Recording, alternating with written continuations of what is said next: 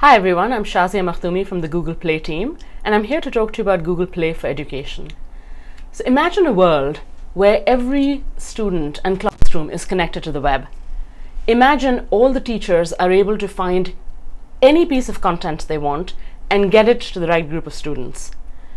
At Google, we've started to make that vision a reality with Google Play for Education. It's a new initiative combining portable Nexus tablets with highly engaging content. So it includes a dedicated online store, and this is different from Google Play, and it's just for educators, where content, including apps, books, video, is organized by subject, by grade, by core curriculum, just the way teachers search for it. It includes tablets that are priced affordably because we want to bring that promise of one-to-one learning into the classroom. It includes easy purchasing options for schools. So for example, a teacher can um, purchase an app and try it for free. They can do bulk purchasing. They can also use purchase orders instead of credit cards, since as a school you don't have credit cards. And it also includes centralized distribution of apps and content directly to devices with one click. So what's the opportunity here for you? It's in 3D living color, specifically in distribution, discovery, and delivery. So you're an app developer creating apps for schools, wanting to reach um, students and teachers directly. Google Play for Education will help you reach that audience without having to create a sales force.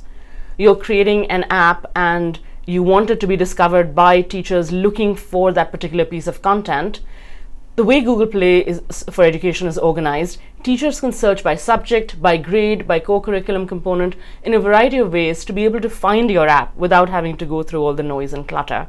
And then finally, if you want your app to be purchased in bulk at a classroom level, at a school level, at a district level, or even the state level, you don't have to do anything. With Google Play for Education, we allow teachers to buy in bulk and also with one click to provision it to different devices. So Google's presence in education includes Google Apps for EDU. We've got 25 million users worldwide, over 3,000 schools using Chromebooks, and over 700,000 uh, YouTube videos in EDU. And what that has done, that footprint, has helped us establish a um, ecosystem of partners in the educational space. And those partners, including educators, came to us and asked, what are we doing in mobile? And that Google Play for Education is the answer to them. It's a natural progression in Google's educational sort of footprint. Speaking of um, teacher feedback, we've actually um, been piloting this in a variety of schools across the country and got a lot of feedback from educators on what they look for in apps. And I wanted to share that with you. Um, that so these are some of the things that um, you'd want your app to be strong in. Educational content is a no-brainer especially if it maps to core curriculum where appropriate. Um, teachers definitely care about that. They also wanted to be tablet optimized. Since we're using Android, um, specifically Nexus 7 tablets for this, you want to make sure that they have a good user experience. It goes without saying, if you're creating something for the K-12 market, you need to adhere both to regulations as well as common sense. So it shouldn't collect personally identifiable information, it should not um, have offensive content, etc. And another piece of feedback that we've been hearing a lot um, from across the board is that teachers and students don't want to remember multiple login credentials to get access to apps. So we encourage you to use Google Sign On so that with one username and password, they can access all the great content on their tablets. So let's take a look at Google Play for Education. So here's the interface with subjects um, organized by subjects on the left side. So let's say I'm a math teacher teaching fourth grade math and I really want to teach my students about prime factors today. I can select mathematics and then I can also up here select by grade, this is fourth grade, and this gives me all the different apps for fourth grade. And I am looking for something for factors and this is the particular aspect in the core curriculum that maps to that. So with just a couple of clicks, I've been able to access all the different apps that map to what I need to teach that day. I can further filter it by different types, so I can get um, other content like books and videos. I can search for free or paid. I can look for which ones are top rated. And then I can also look at the intended uses. So if I want to instruct today, if I want to as a review tool, student tool, etc. So this particular app looks interesting. Let's get more information on that. And I see it has a badge for Q, which means that an external vendor Q has reviewed it and found that it is appropriate for teachers. And I know that Q is composed of teachers who are reviewing apps. And so as a teacher, I really um, can rest assured that this app corresponds to what I need to teach. When I click on order, I'm able to select a group of students that I already had set up, my fourth grade class, and enter that group in there. And with one click, I'm going to be able to send this app to all their devices.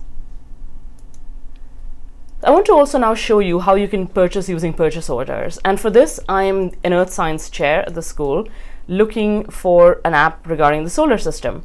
Now, I know I had checked this app earlier um, through the free trial and liked it. It was Q approved, which is great. And I want to get it for my fifth and sixth grade class. And there's about 150 students. So I'm going to click on, um, I'm going to enter 150 there and notice how the price changes dynamically. And when I click on this, it actually takes me to a screen where I can select one of three POs my school has open with Google already and use one of them to pay for this. So no more having to pay with my credit card and then getting reimbursement for that.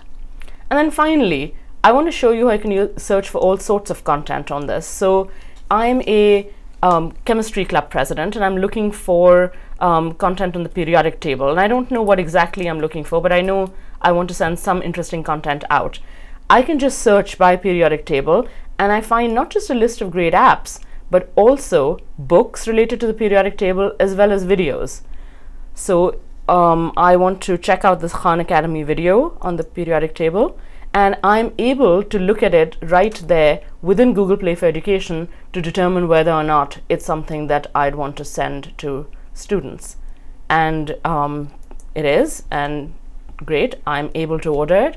And again, having set up the chemistry club group at my school earlier, with one click, I'm able to send it to specifically those devices. So that was a quick view of Google Play for Education. I encourage you to go to developer.android.com slash edu where there's a lot more details on what I was talking about and also a chance to sign up to get more information as it becomes available. And together with you guys and Google, we can actually help transform K-12 education and make that vision I was talking about earlier reality. Thank you so much for your interest.